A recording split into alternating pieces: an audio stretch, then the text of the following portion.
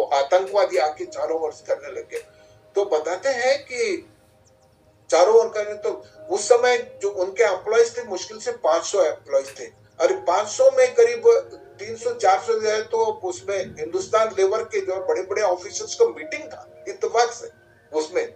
और बाकी चार पाँच सौ रुपए चिल्लर जैसे कोई होटल में जाकर के खाना करते रेस्टोरेंट वैसे, इस प्रकार सत्रह सौ थे। और उसके बाद में एक्सीडेंट हुआ। ये तीन चार दिन तक तमाशा हुआ, पूरी दुनिया देखे उन्होंने सक्सेस हुआ। तो उनका टारगेट था कि अधिक से अधिक हम इधर बाहर वाले व्यक्तियों को इनको मारेंगे, पूरी दुनिया में मालूम नाम हो जाएगा। लेकिन फेल हो गए। क्यों फेल हुआ? सत्रह सौ में मुश्किल से सेवेंटी फाइव लोग की डेथ हुई। पचहत्तर लोग की डेथ हुई। पचहत्तर में भी बताते हैं कि फिफ्टी परसेंट से अधिक फिफ्टी करीब करीब फिफ्टी जो है ना, सिर्फ़ वहाँ के ताज होटल के एम्प्लॉय की डेथ हुई। क्यों हुआ? अब देखिए उसमें बोला है कि आ, उसमें फिर अरविंद यूनिवर्सिटी वाले टाटा के जो जमशेदपुर से पूछे कि आपने ऐसी कोई ट्रेनिंग दिया?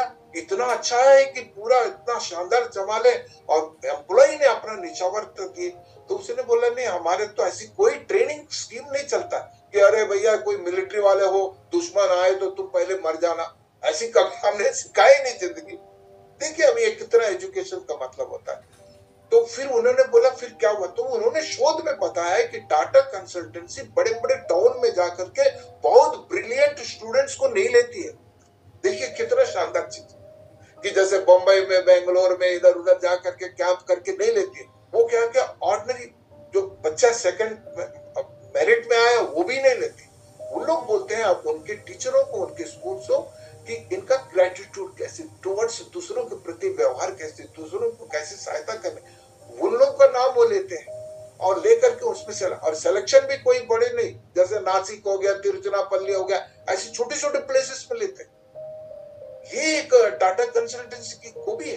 तो बोलते वो एम्प्लॉइज का वही हार्वर्ड यूनिवर्सिटी ने निष्कर्ष निकाला, इनको कोई ट्रेनिंग नहीं दी गई, लेकिन इनका जो एटीट्यूड को देख करके जिस तरह से एम्प्लॉय लेते हैं, वही है हम बोलते हैं ना आईक्यू आईक्यू करते हैं, हम इमोशनल इंटेलिजेंसी को देखते नहीं इसलिए वो जगमार के सभी लोगों ने कंपलसरी पेपर कर दिया।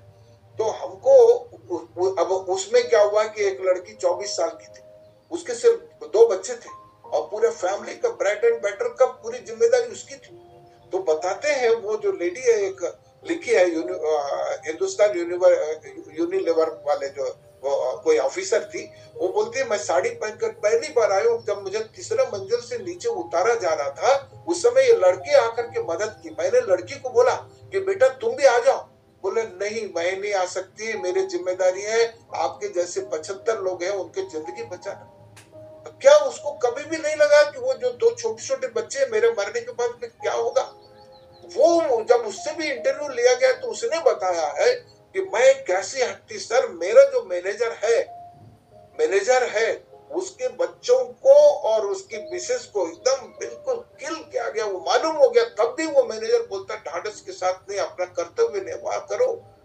क्यों कर रहे क्योंकि उनको मालूम था कि कहाँ पर सिर्फ़ इलेक्ट्रिसिटी का स्विच है सर।